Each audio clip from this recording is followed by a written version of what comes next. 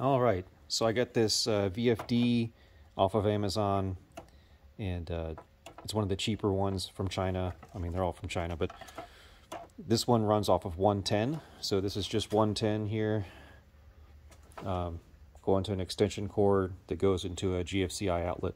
Um, some people said it didn't work with GFCI, but works fine for, with mine. Uh, perhaps their outlet was wired wrong. Um, so right now it's off. Uh, this is a 2x48 grinder build off of YouTube. Um, the top part is with a 2 horsepower. You can pause it here and get the specs. 2 horsepower, US made motor. Uh, this is a 3-phase uh, dual voltage. So it's wired up for the lower voltage, the 220. This was pretty much plug and play. I didn't really have to change any of the settings. Um, I did go through them just to make sure that the defaults were what they said in the manual. Um, sharing a ground right now, so I have the ground uh, for the 220 and the ground uh, that goes up to the motor right here is the same. And um, I didn't have any SJOW uh, wire, so for now I just have some old uh, um, pump wire that goes to like a well pump.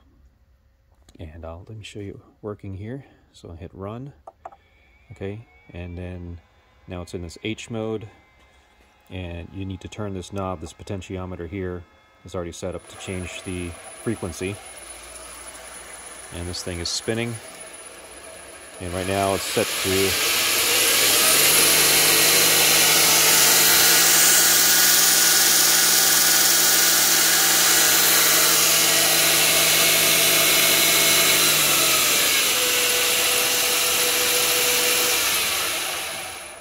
yeah, so, so far works really well. Um, yeah, if you decide to start it back up, it's going to start at whatever frequency you set here.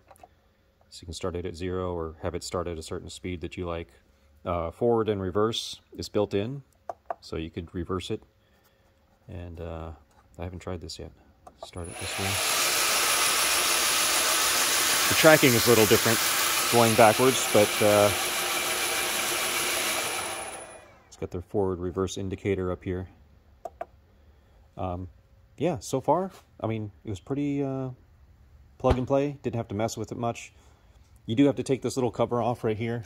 Um, this little cover, you take this off so that you can get the screws down in here for these mounts. Um, uh, they're just like kind of the old wire terminals like off an amplifier. Nothing fancy. Um, yeah, and then you're going to put this back on. You don't need to use any of these unless you're wiring up like a remote, either a remote sensor or a, even more remote version of the controller. It's already set up to use this. This does come out. And uh, they don't give you a very long cord. Like this is as far as it goes. On some models that are a little bit more expensive that look nearly identical, uh, or a little bit bigger, but they have identical looking keypad. Um, it comes with like a six foot extension or something like a three foot. So you could mount this somewhere else and then um, uh, have the controller like in a 3D printed box or something like that. This would fit in a, I'll do the measurements real quick for you. This would fit in a uh, ammo can if you want to use that for a controller. So on the front, it's about four and four and five eighths or something. But what I measured is five in the back because it is a little tapered. It's like a, there's a draft angle to it. Okay, by seven, seven and a sixteenth this way. And the height, depending on where you want to measure it to, is just about five. And then with the potentiometer knob, knock it up to five and a half. So that's the kind of enclosure size you're going to need for this. I think it was listed wrong in the description. There's only one fan. There's only one cooling fan on here. And the backside is just a heatsink. Uh, so you take the fan out, you take two screws on each side out, and you can get to the main board if you need to. And then there's another um, screw or something that holds in this little mini board right here. Uh, I made I made this stand um, so that this thing is going to like fit inside here. and uh, with screws in the back to hold it on.